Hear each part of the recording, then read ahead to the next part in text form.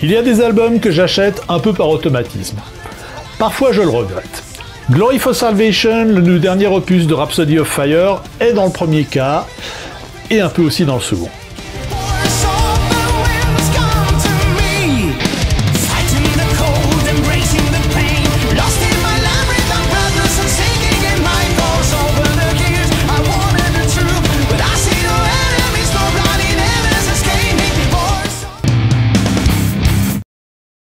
Il y a des groupes comme ça qui pop sur le pas de votre porte, ou peu s'en faut, et vous mettent une grosse claque dans la tronche, musicalement parlant et dans l'aspect des distances sanitaires.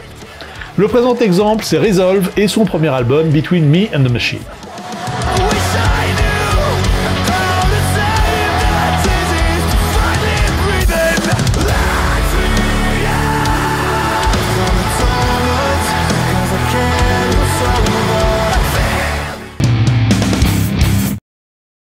Si vous n'êtes pas très familier des musiques que je chronique sur ce blog, une tournure de phrases comme black metal progressif peut vous étonner. Mais ici un album comme ça de Starway Eternal de Crystal Coffin, c'est plutôt classique.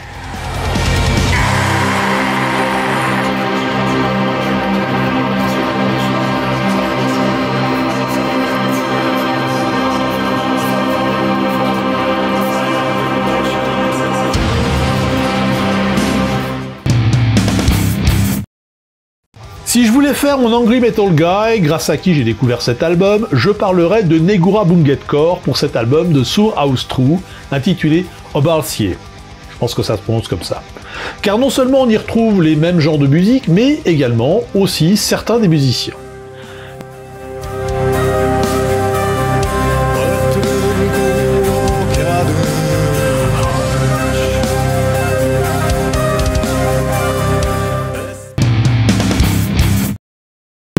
Parmi les albums qui ont quelque peu secoué la brogue métallosphère, il y a Resident Human de Wheel.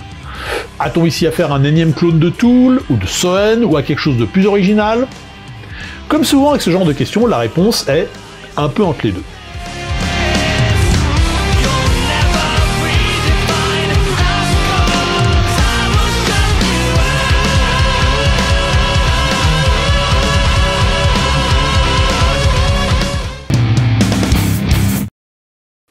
Une des très belles surprises de ces derniers mois, c'est Soup, formation norvégienne, qui revient avec un nouvel album, Visions. Double surprise d'ailleurs parce que cet album marque un changement, sinon dans le fond, en tout cas dans la forme.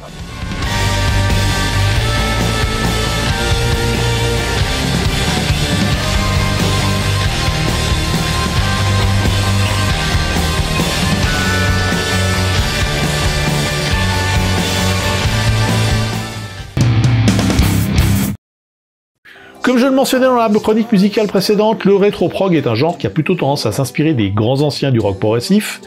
Dans le cas de The Watch, qui vient de sortir ce The Art of Bleeding, l'inspiration est assez clairement Genesis, période Peter Gabriel.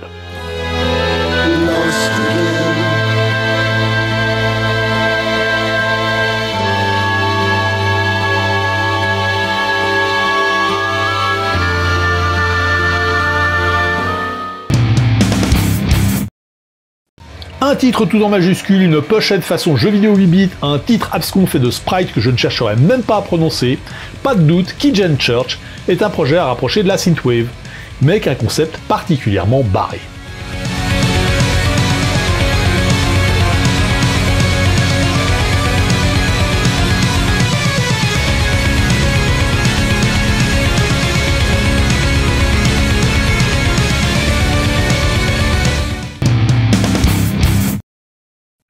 Le premier EP de cette édition, c'est Frequency de Dark Jane, sorti en 2018.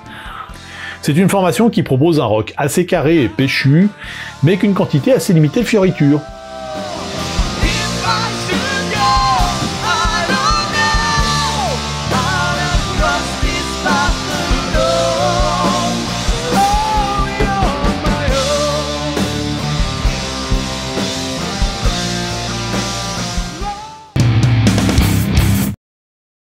Je vous ai déjà parlé de Enshine à l'occasion de leur album Singularity. La formation de death metal mélodique, aux deux tiers suédoises et un tiers français, revient avec cette EP Transcending Fire.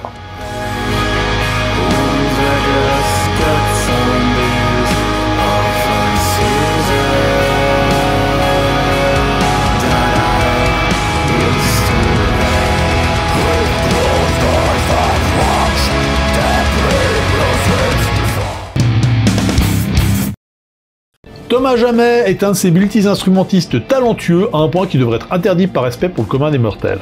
Dark Matter Part 2 est, comme son nom l'indique, son deuxième EP de métal progressif instrumental.